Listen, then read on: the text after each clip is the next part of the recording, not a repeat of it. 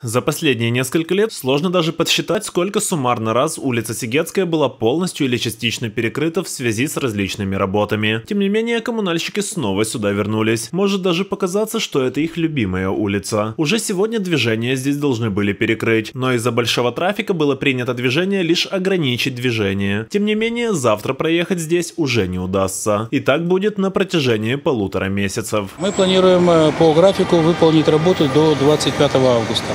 Подрядная организация, которая выиграла тендер, на сегодняшний день располагает практически полным э, набором э, материальных ценности, которые необходимы для производства работ, то задержки не должно быть. Традиционно работы связаны с заменой устаревших коммуникаций, а именно теплотрассы. В планах замена 563 метров устаревших во всех смыслах труб. Раскопки будут между проспектом Гагарина и Лунным переулком. Только в течение этого года на этом участке случилось 9 прорывов. А согласно правилам, даже одна поломка за сезон является достаточным основанием для замены. Выполняться будет э, полная замена теплотрассы 530 э, диаметра. Э, старая труба э, меняется на новую, предизолированную, с силиконными компенсаторами.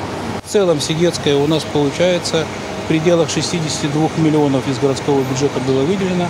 В этом году на данном участке, это большой диаметр трубы, как я уже сказал, 530 миллиметров, будет затрачено 39 миллионов 950 тысяч следующий раз менять трубы на Сигетской без учета непредвиденных ситуаций придется только через 25 лет. Но такая мысль мало кого утешает, ведь пока одни работают под палящим солнцем, другие будут изнемогать в пробках. И как бы ни выражали свое недовольство, все прекрасно понимают, провести эти работы перед отопительным сезоном было просто необходимо.